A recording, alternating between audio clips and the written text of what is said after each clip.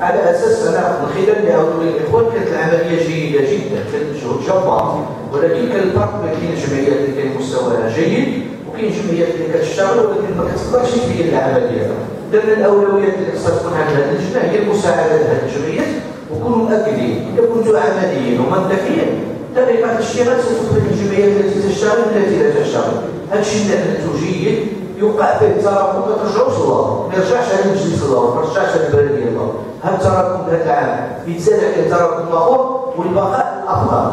ديك الساعات غادي تبقى فيها لا سياسه ولا صحبه ولا زبونيه الجمعيات اللي غادي تقدر تفرغ المصاريف ديالها الماديه والوسائل جيده خصكم تجازيوها على الشيء اللي ما يقدرش يبرد الصيف في الصاف ديالو خصو ما يتجازاش على الشيء يعني أنتم المنطق اللي اشتغلتوا فيه خصكم تكملوه بالنسبة للأستاذ اشرفي صحيح حنا ديما كان عندنا الأرض نعتذر وكنتمنى في السنوات المقبلة يا إما يدار اجتماع مشترك أو يتم التدارك